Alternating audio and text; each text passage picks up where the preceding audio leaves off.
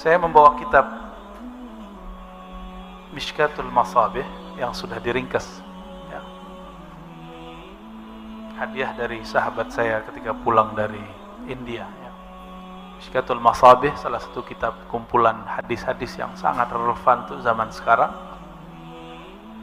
ditulis oleh para imam kita imam kita imam Al-Baghawi seingat saya kemudian di ikhtisar oleh Muhammad Ilyas Al-Kandahlawi ya, salah satu ulama besar di, di India.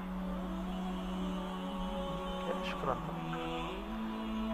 Beliau membuka bab malahim dengan banyak hadis tapi nanti saya pilih mana yang pas ya untuk kita. Pertama hadis yang sahih riwayat Imam Bukhari dan Muslim. Ini panjang. Coba disimak. Ini kilas singkat dari Nabi Shallallahu Alaihi Wasallam mengenai akhir zaman. Pertama, Nabi Shallallahu Alaihi Wasallam sebagaimana diriwayatkan oleh Abu Hurairah bersabda, "La taqumus sa'ah tidak terjadi kiamat hatta taqtatilu fi'atani 'azimatani." Sehingga ada dua kelompok besar saling bunuh membunuh. Kita sebut berperang Siapa dua kelompok itu? Itulah sampai hari ini jadi pertanyaan, apakah perperangan Sayyidina Ali dan Sayyidina Muawiyah masuk ke dalam? Bukan. Di beberapa kitab syarah disebutkan itu perang Sayyidina Ali dan Sayyidina Muawiyah. Ini saya mau kasih tahu bahwa di kalangan ahlu sunnah terjadi perdebatan mengenai Muawiyah. Apakah beliau termasuk sahabat yang lurus atau tidak? Tapi perdebatan itu tambah parah di kalangan Syiah. Ya. Namun mayoritas ahlu sunnah menganggap Muawiyah sahabat Nabi berijtihad dan ijtihadnya keliru, gitu aja. Dia tetap dianggap sahabat berijtihad, ijtihadnya keliru. Namun karena ini haknya sahabat, as-sukut aula diam, tidak membahas, tidak banyak berlarut-larut seperti yang dilakukan oleh kelompok Syiah dan Khawarij, itu lebih baik. Kelompok Khawarij gak sabar. Bahkan kelompok Mu'tazilah mirip dengan Khawarij. Mereka mengkafirkan salah satunya. Kalau Khawarij mengkafirkan Ali dan Muawiyah, kalau Mu'tazilah memfasikkan Muawiyah, sedangkan Syiah mengatakan Muawiyah itu bukan hanya fasik bahkan zindiq ya auzubillah min ya.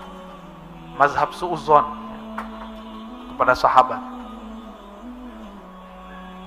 takunu bainahuma maktalah azimah dakwahuma wahidah akan terjadi antara dua kelompok itu perperangan yang sangat besar sekali tetapi kepentingan mereka sama dakwahuma wahidah kepentingannya sama. Wa hatta yub'atsa dajjaluna kadzabun. Bahkan nanti akan muncul dajjal-dajjal pembohong-pembohong besar. Dajjal bahasa Arab itu mubalaghah dari fa'al kazzab.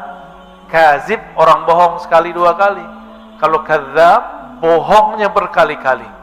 Surganya neraka nerakanya surga dia bawa simbol-simbol keislaman, padahal itu kezintikan. Hati-hati, ini mulai muncul Pak. Mulai muncul beberapa kelompok-kelompok yang membawa simbol-simbol keislaman, tapi ternyata di belakangnya ada perpecahan yang luar biasa, ada kehancuran Islam di belakangnya. Ada penghinaan terhadap Islam di belakangnya, tanpa mereka sadari maka jangan termakan dengan simbol. Ya.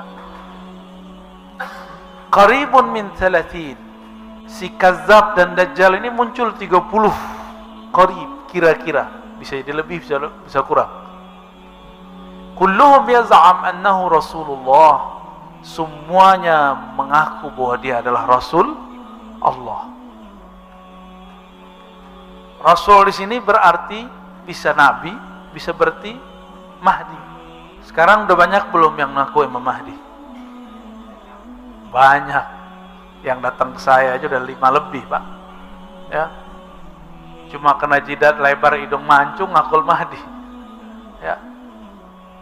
Simpel sekali jadi Al-Mahdi.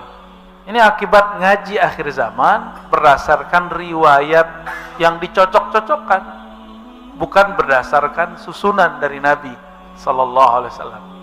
Karena ngaji akhir zamannya menjelaskan cuma potongan-potongan hadis.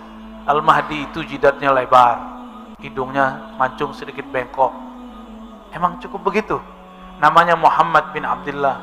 Emang Nabi ngomong begitu? Enggak. Nabi enggak pernah ngomong namanya Muhammad bin Abdullah enggak ada. Lafaznya namanya berkesesuaian dengan namaku. Yuwati'u. Yuwati' beda dengan ka berkesesuaian dengan nama. Dan saya sudah jelaskan kepada kita semua apa makna ism nama. Bahwa nama berarti keilmuan yang tinggi. Dan yang kedua tanda-tanda. Tanda-tandanya sama keilmuannya sama. Itu arti dari ism. Jadi bukan bukan Muhammad bin Abdullah. Kalau Muhammad bin Abdullah sudah banyak belum muncul para zuriat Rasulullah namanya Muhammad bin Abdullah. Banyak. Kalau nggak Muhammad, Ahmad. Nama Rasulullah ada berapa? Yang antum tahu? Delapan. Dikit amat. Nama Rasulullah itu ada 313 yang ditulis oleh Imam Al-Jazuli. Ditambah oleh para sadah Ba'alawi jadi 318 kalian.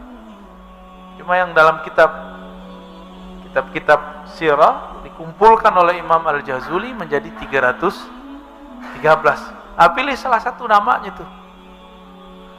Salah satunya di situ Sahibul Izar yang suka pakai sarung. Bukan pakai kamis kayak saya, Pak. Pakai sarung. Maka hari-harian kalau taklim saya suka pakai sarung karena mengikuti Rasulullah sallallahu alaihi wasallam, ya. Mengikuti baginda Nabi Muhammad sallallahu alaihi wasallam.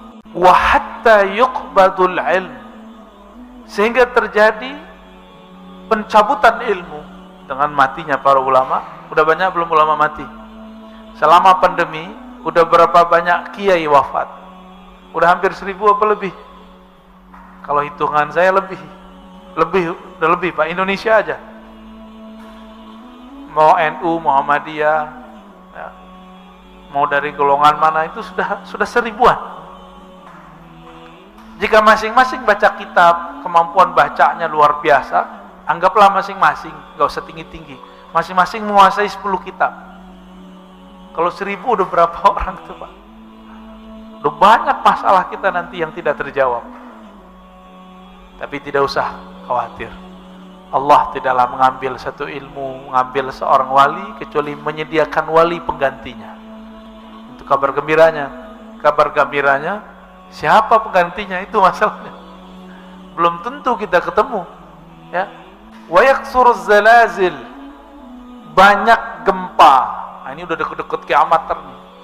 Tapi sebelum terjadi pembayatan Imam Al-Mahdi yang besar di Mekah sana, ini terjadi gempa besar nanti. Besarnya saya nggak tahu Pak berapa.